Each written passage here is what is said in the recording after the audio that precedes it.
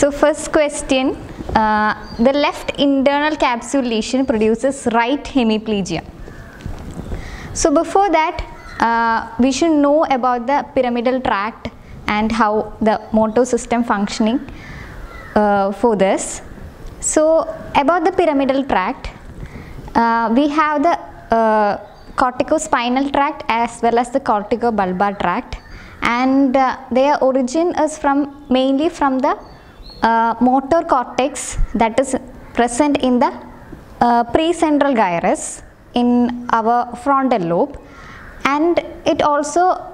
gets origin from other areas like uh, the premotor areas then the supplementary motor areas and all. So these corticospinal tract and the corticobulbar tract fibers descend down as corona radiata that is if we have the cerebral hemisphere here so these tracts take their origin from the cortex and then they descend down as a radiation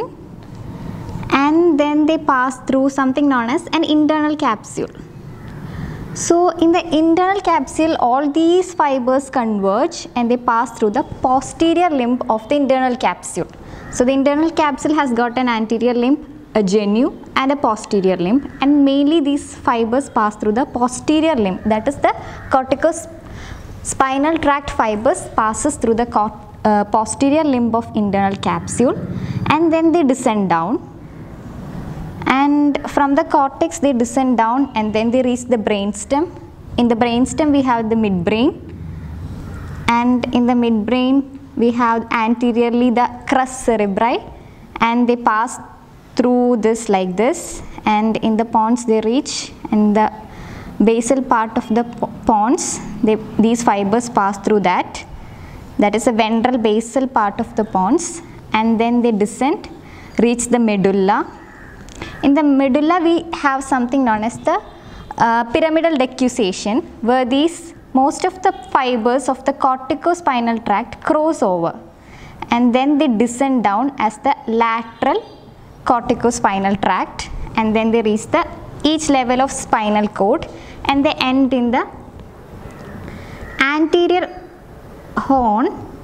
of the spinal cord. They end here the anterior horn of the spinal cord and from there the lower motor neurons start which goes to each uh, uh, as nerves to supply each muscles of our body so from the anterior horn cells then onwards we have the lower motor neurons and from cortex till here we have the upper motor neurons and also we have a uh, crossing over at the level of um, medulla. So when you get a lesion, an internal capsule lesion, what happens is all these fibers will get cut off here and then what happens the entire pathway gets cut off and then the opposite side will get affected. So if there is a lesion in the internal capsule on the left side, we get a um, hemiplegia on the right side. So that is why we get a hemiplegia on uh, right side and it is very important to know the blood supply of internal capsule because if any kind of uh, thrombus formation or hemorrhage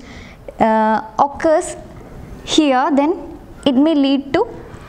right hemiplegia because all these fibers are passing through this uh, area of the brain.